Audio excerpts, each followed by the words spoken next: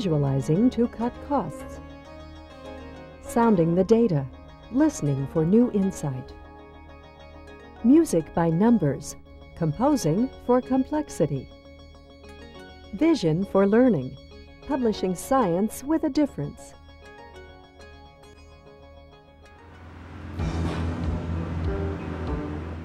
At the Proving Grounds, uh, you look at visibility, trying to see what kind of visibility you do have off the front side and off the back and off the sides.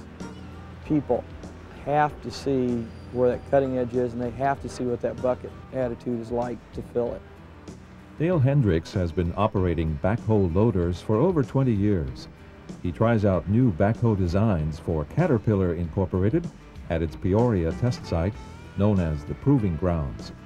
Whether it's digging trenches with the backhoe bucket or using the front-end loader to shovel earth, the more that an operator can see of the tools, the quicker he can get the job done. Safety demands a sturdy cab to protect him, but its structure can limit visibility. Even at this stage, if the operator testing a new prototype sees too many blind spots, it's back to the drawing board. But now, Caterpillar engineers are trying to save time, cut costs, and improve development quality with a new method of visibility analysis. They are experimenting with animated visualizations. Collaborating with NCSA in its Industrial Partnership Program, Caterpillar engineers and NCSA's Visualization Group have created an animated movie to assess operator visibility of a backhoe in an advanced computer graphics environment. As Caterpillar's on-site representative at NCSA, engineer Rich Ingram has been involved with the backhoe visualization project from the start. The way that this technology can really help with our design process is to prevent us from making any mistakes. Typically what we do now is we build a mock-up of the cab and then we put the operators, well several operators in this cab and they try to see if there's any visibility problems when they identify that there is a problem, by that time, oftentimes the design has already, you know, progressed along quite nicely, and then we have to back up and start over. In order to bypass some of the steps required in building mock-ups, Caterpillar design analyst David Cooper models new designs on the computer. He believed that animation of these models could provide additional analytical information and proposed the backhoe visualization project to Rich Ingram we're doing visibility analysis on a single shot, point in time uh, reference where we would move the tool of the bucket, tool or bucket or a portion of the vehicle into a specific location and then do operator visibility analysis from that one spot. And we kind of realized that maybe we were maybe missing something, that maybe there's other points that the tool or bucket could be positioned at that we couldn't analyze the way we're doing it now. I've added the tires and you'll see that... Mark Bajuk, visualization programmer at NCSA, worked closely with David Cooper and Rich Ingram for several months developing the animation for the backhoe movie. The first test runs required obtaining Caterpillar's modeling data from two different pieces of software. These were in turn used to drive the wavefront rendering software used at NCSA. After all the data files were transferred, then came the real challenge. Because of the way that this particular problem was defined, um, we needed to find a closer mapping to how people actually see. We needed to try to push the definition of what the camera would be into something that would give us, a, for example, a, a horizontal angle of view of close to 180 degrees, which is much a, a much closer match to peripheral vision in, in uh, humans. This little window right here is what a computer graphics camera would normally see when it's positioned at the viewpoint of the operator, which was defined by Caterpillar. Okay, this is the uh, format that we use for display whenever we're within the cabs looking from the operator's viewpoint. Now instead of one camera we actually have seven relatively tall cameras and this provides us with an angle of view of instead of 40 degrees, what we were roughly looking at before, now we're expanded out to about uh, plus or minus 70, yielding a total of about 140 degree angle of view. This hopefully maps much closer to the operator's peripheral vision and gives a better sense of being in the cab and looking out into the space. Although it had been talked about before, This was the first time anyone in NCSA's visualization group had used a multiple camera format. The Wavefront software is not designed to render multiple points of view, and defining the parameters for seven cameras in each frame of animation was therefore tricky. But now, as a result of the Backhoe project, the group has broken into new territory in the use of the computer camera for graphic representation. I think all of us, you know, that were involved with it learned quite a bit about some of the problems, you know, that exist in this domain, but also some of the possibilities. And already now, uh, somebody who's working on a project in our group is working with multiple cameras. Another scene in the movie depicts a light and shadow test. The visualization of light cones emanating from the cab helps demonstrate the operator's field of vision. You can create the solid model of the cab in question fairly rapidly on the computer and do the actual animation fairly quickly compared to creating a mock-up of that particular vehicle or cab and actually doing it the, the manual way. For David Cooper and Rich Ingram, the 18-scene backhoe animation movie is a success. The plans are to continue the collaboration with NCSA to learn different visualization techniques, test out software and hardware tools, and bring that knowledge back to Caterpillar. We have a number of different application areas where we can apply visualization techniques. Some of these include uh, computational fluid dynamics, uh, finite element analysis, as well as the viewing of new product designs. Computer graphics will never completely replace the building of mock-ups or the testing of new equipment but the design cycle can be shortened with the aid of visualization animations, the new proving ground on the screen.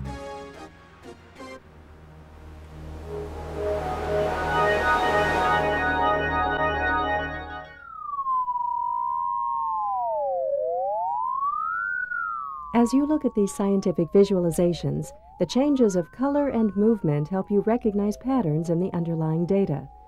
But here, the science is being communicated to your ears as well as your eyes.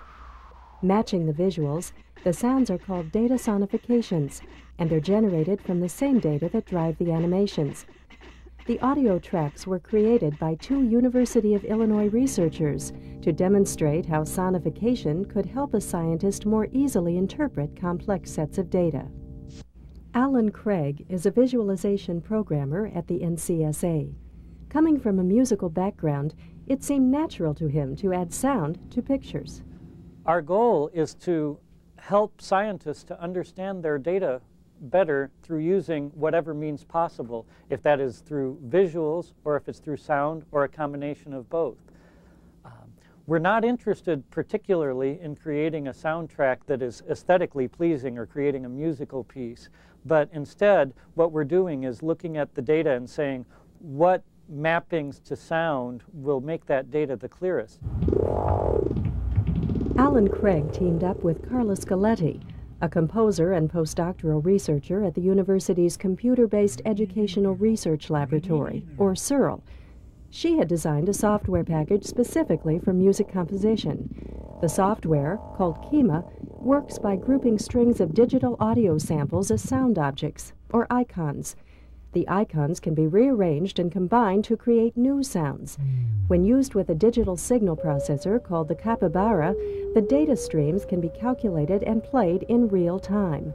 The Kyma Capybara system is ideally suited for data sonification. It was only a short step to say, well, let's take an external stream of numbers.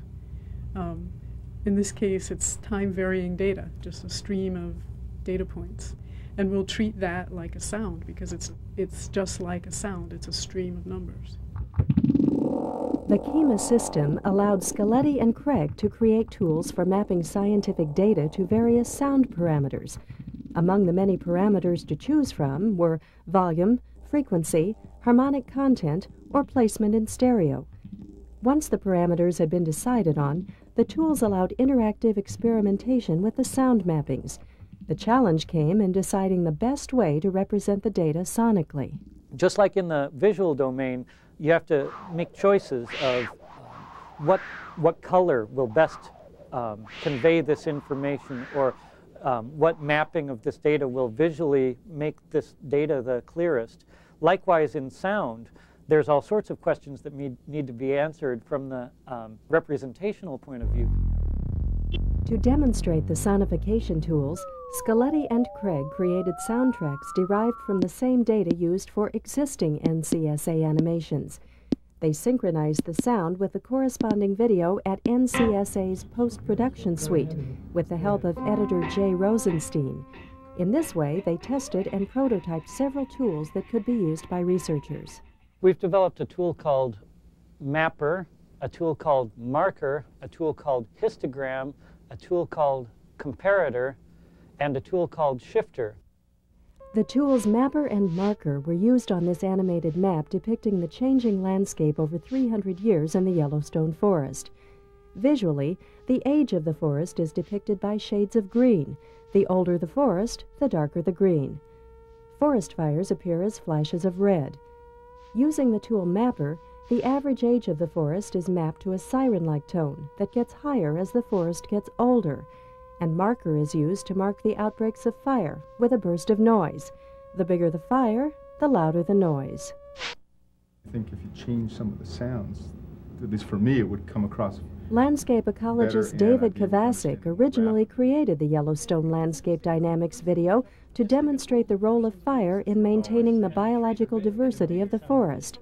Now, by adding sound to graphics, the team aims to enhance the movie's power to communicate. It certainly does help you cue into what's happening as far as the dynamics go. Uh, very, the very high-pitched tone relating to a non-diverse environment is very effective in getting the idea across that that this environment may be very susceptible to fire. Uh, sounds as fires occur also help you pick out those fires occurring. We think of the NCSA videos as something like live footage of a model world. And by adding soundtracks to these videos, we can increase the sense of reality of this model. A lot of the things that we're learning about mappings now are things that a scientist shouldn't have to go through all the error part of the trial and error. Um, if we can embed our knowledge into software to help them make choices right up front that will be good choices for both visualizing and sonifying their data. I think that would be a, a, a very valuable contribution to the scientific community.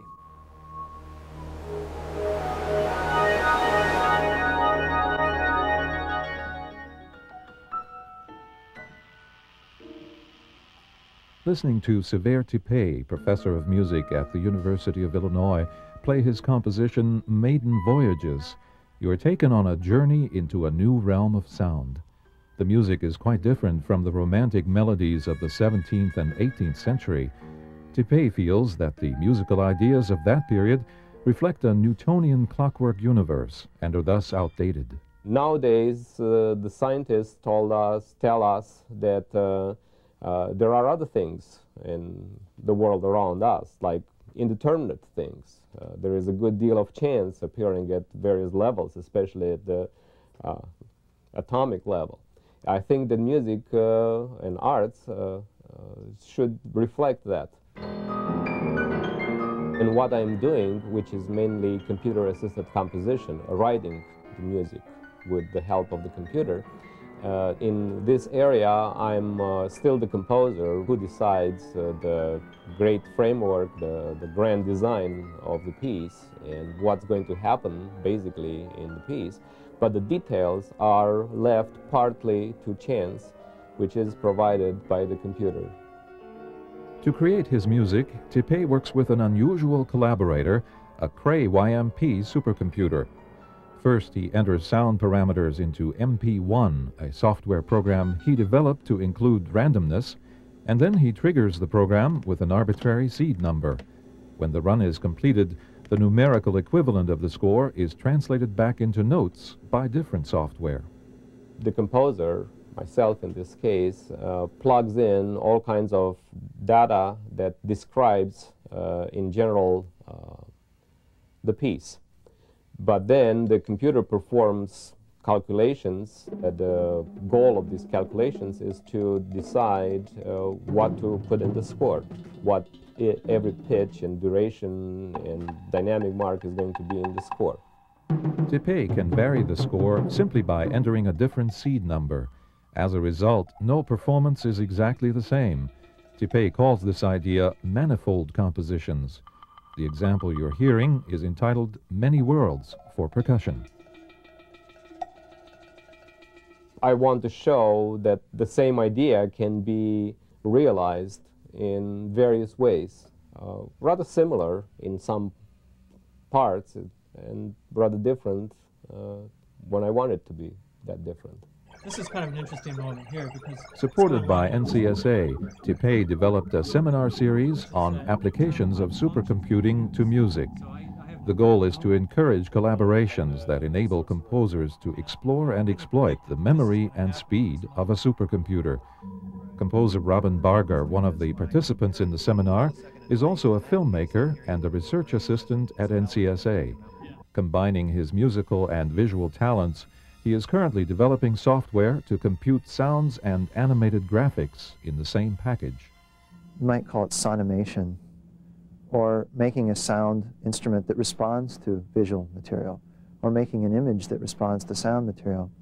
What I'd like is a workspace where someone is no longer a composer only of music, but a composer of pictures and of sounds.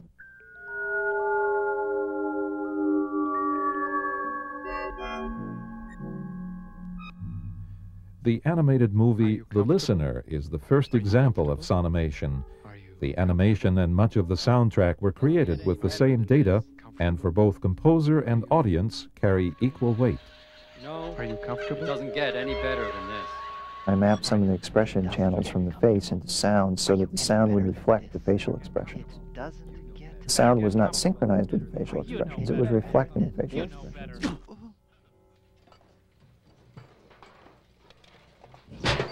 Bargar recently applied his software to a public service announcement promoting the virtues of recycling.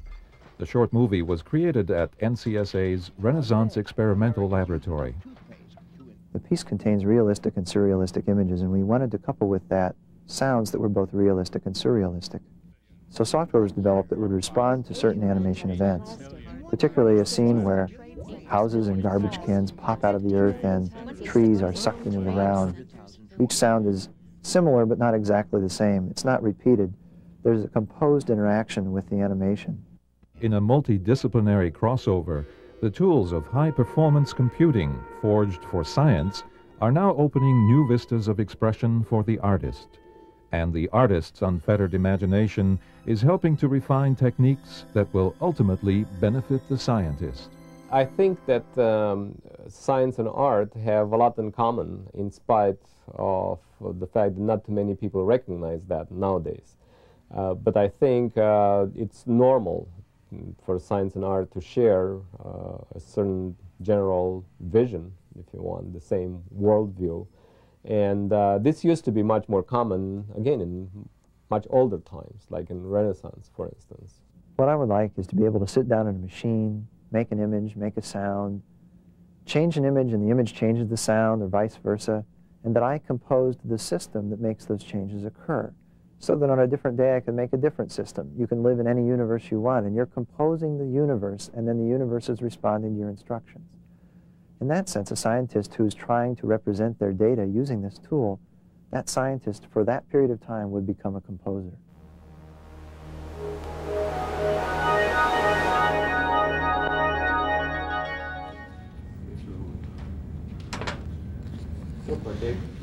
This is a type of video book.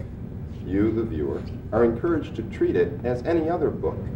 Skip ahead to certain sections, review particularly interesting sections, etc. Using this medium to communicate scientific information is an embodiment of the phrase, a picture is worth a thousand words. It is my belief that a picture with a simultaneous technical explanation is worth even more.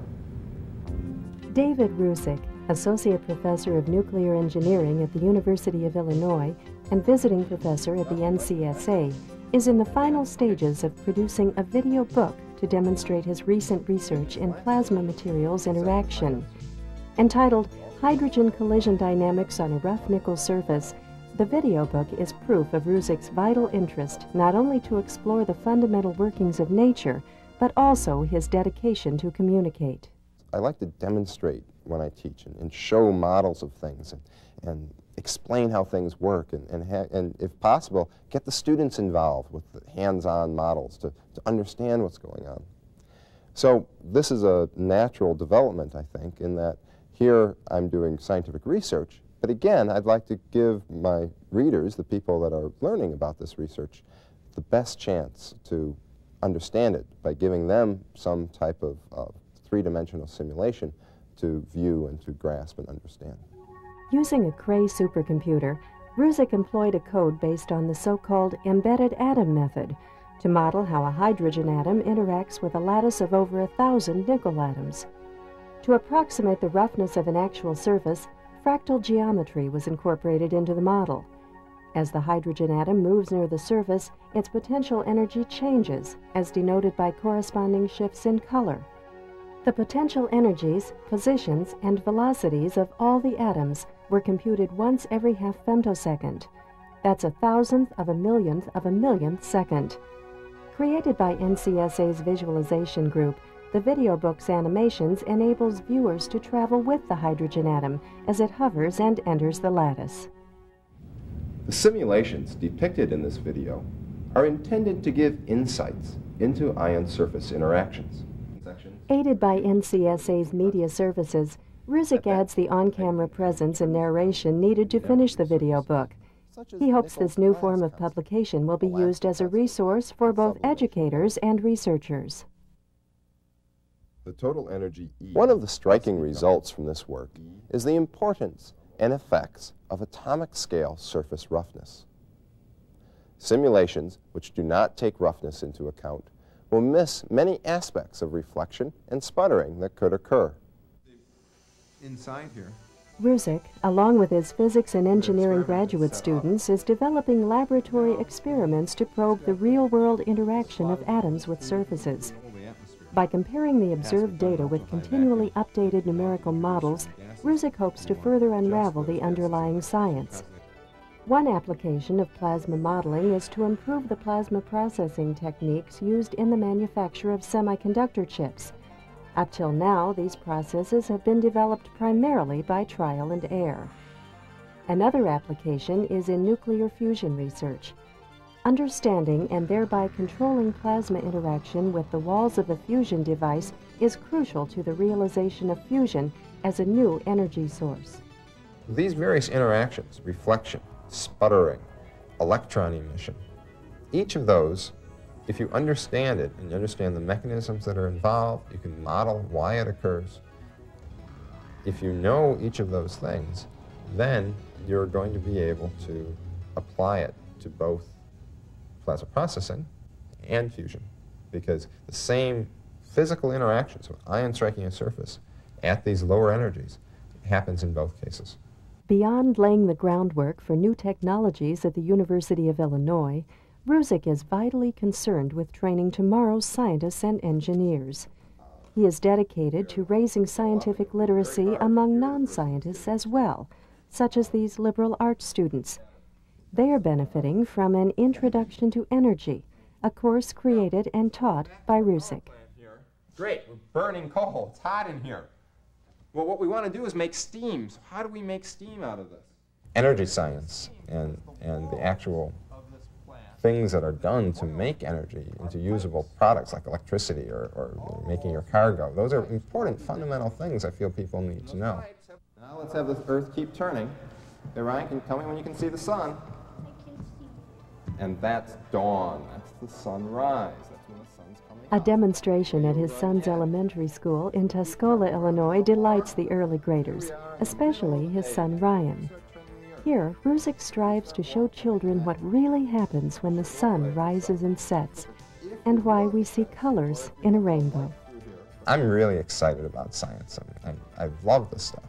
And I don't feel that any subject is too difficult to explain to any age. With enough creative use of visual aids, I think you should be able to, to explain at least some of the basic principles, you know, kindergarteners all the way through uh, graduate students and beyond.